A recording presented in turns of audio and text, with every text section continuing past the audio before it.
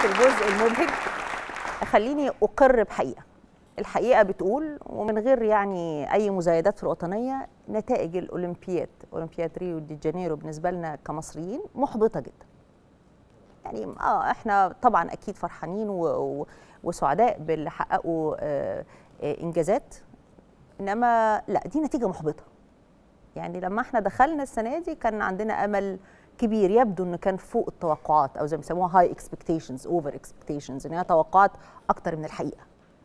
واضح أو التجربه أو الدرس من أولمبياد ريو دي جانيرو إنه إحنا مش مؤهلين بالقدر الكافي إن إحنا نحقق أرقام ومراكز ونسعد آه، آه، الناس ونرفع اسم بلدنا في المحافل دي آه، بشكل مش حتى معقول أقل من المعقول.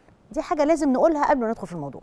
لحسن الناس تفتكر إن إحنا ولأننا فرحانين وبجد فرحانين وسعداء بال- باللي ولادنا عملوه هناك ثلاثة اللي حققوا ميداليات إنه ده ينسينا الحقيقة. الحقيقة مرة للأسف. بس الحلو وال- والمعسول فيها إنه الثلاثه اللي اخذوا الميداليات دول كتير منهم إذا ما كانوش هم يعني إن هم يحققوا يحققوا الميداليات دي مش بس شطارة مش بس تفوق مش بس مهارة لا ده إعجاز.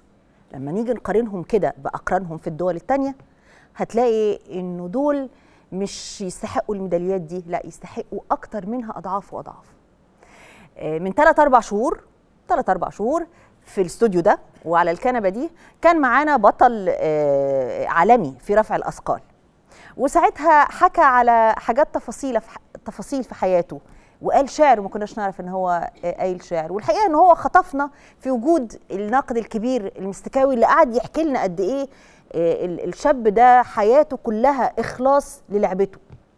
ووعدناه يوميها مع كل اللي كانوا معانا إن إحنا لما هنتابع هنتابع مش بس بقلوبنا وعقولنا لأ بدعواتنا.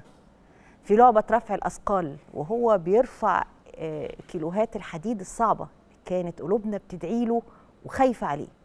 لحد ما رفع الثلاث رفعات وحقق برونزية مش بس هو آه، تقلدها إنما كلنا لبسناها معاه